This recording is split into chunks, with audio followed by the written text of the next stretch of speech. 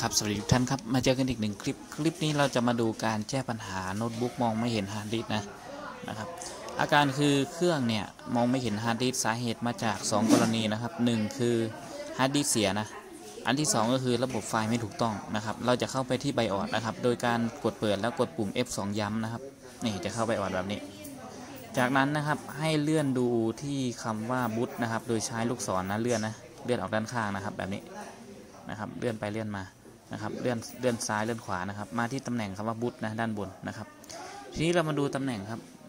มันจะมีระบบไฟล์ 2 แบบนะคือ UEFI กับเนี่ยครับ UEFI กับ Legacy อะตัวนี้นะครับ ตัวนี้เครื่องตั้งเป็น UEFI นะครับ เราจะตั้งเป็นตัวนี้นะครับ Legacy เนี่ยนะเพื่อให้ระบบมองเห็นฮาร์ดดิสก์ก็คือ ฮาร์ดดิสก์ที่ผมดูในนี้มองเห็นมีอยู่นะนะครับ แต่ระบบไฟล์ไม่ถูกต้องคือ ระบบไฟล์ partition ของฮาร์ดดิสก์มันตั้งเป็น Legacy นะครับ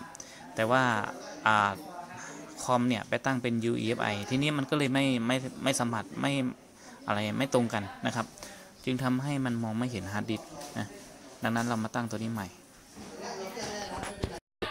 หลังจากตั้งใหม่เสร็จปุ๊บนะครับ ก็กด F10 นะครับ แล้วก็ทำการกด Enter มันก็จะบูตขึ้นแบบเนี้ย ถ้าบูตขึ้นได้แบบนี้แสดงว่า ตอนนี้มองเห็นฮาร์ดดิสก์แล้วนะครับ สามารถบูตเข้า Windows ได้แล้วเห็นไหมนะครับ การแก้ปัญหาแบบนี้นะครับ ถือว่าไม่ยากนะนะครับ แต่บางท่านทำไม่เป็นนะ คลิปนี้ก็น่าจะเป็นประโยชน์นะครับตัวนี้ถ้าไปร้านนี่ก็อย่างต่ำ300 นะครับ ในการแก้ไขปัญหาเบื้องต้นนะสำหรับร้านทั่วไปนะครับ หรือบางทีร้านอาจจะแจ้งว่าฮาร์ดดิสก์เสียนะครับ ถ้าเขาแจ้งว่าฮาร์ดดิสก์เสียเนี่ยก็จำเป็นต้องเปลี่ยนฮาร์ดดิสก์ใหม่นะ เพราะว่าเรา เราทำไม่เป็นใช่ไหมเราก็ไม่รู้ว่าวิเคราะห์ยังไงนะครับ แต่ถ้าร้านมีจรรยาบรรณหน่อยเขาก็จะบอกว่าเออแก้ไขตรงนี้นะครับ ให้อะไรประมาณนี้นะครับอะโอเคครับ ตอนนี้หลังจากที่เราทำการเปิดขึ้นมาปุ๊บ มันก็จะทำการบูตขึ้นมาแบบนี้นะครับ